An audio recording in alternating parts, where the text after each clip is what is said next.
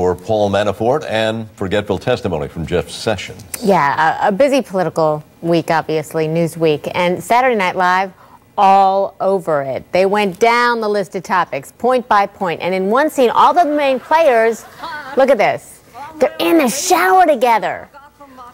Why?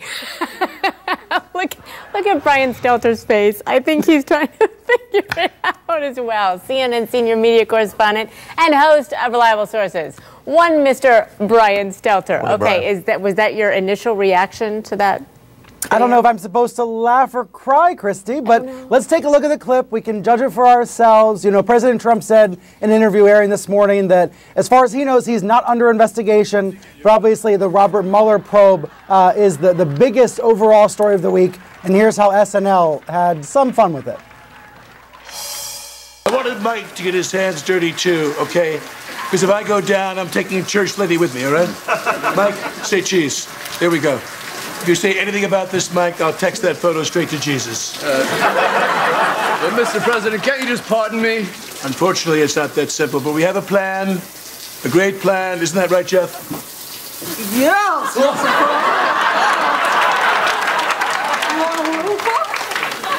Uh, I'm all yours, Jeff. I'm all yours. All right. Hi. Well, I'm wearing a bathing costume that I got from my favorite place, the 1890s. Plus, uh, I thought we should all get used to wearing stripes.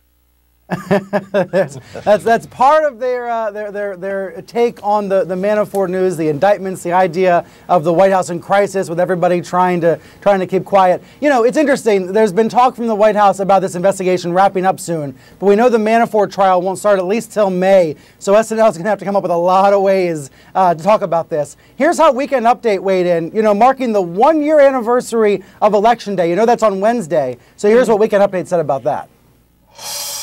Well, it's almost the one year anniversary of Donald Trump getting elected president. And to celebrate, Robert Mueller threw him a surprise party. After the indictment of former Trump campaign chairman Paul Manafort, who also played Shooter McGavin in Happy Gilmore, it was reported that Manafort has three different U.S. passports and traveled to Mexico, China, and Ecuador with a phone he registered using an alias. So I don't know what he's guilty of, but it's definitely not nothing.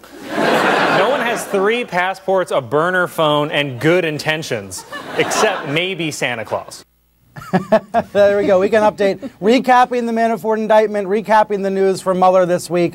Uh, I know it was all the way back on Monday, but when you look back at the last seven days, uh, the Russia investigation probably is the overarching biggest news story of the week. Uh, so, like I said, SNL is going to have a lot to say in the weeks, maybe months, maybe years to come. They do it so cleverly.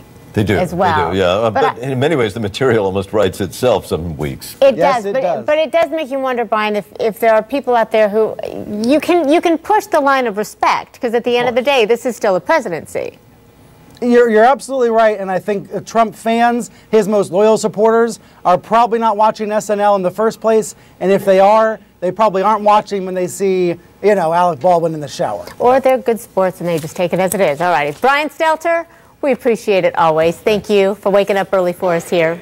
Be sure to watch Brian a little bit later today, of course, here on.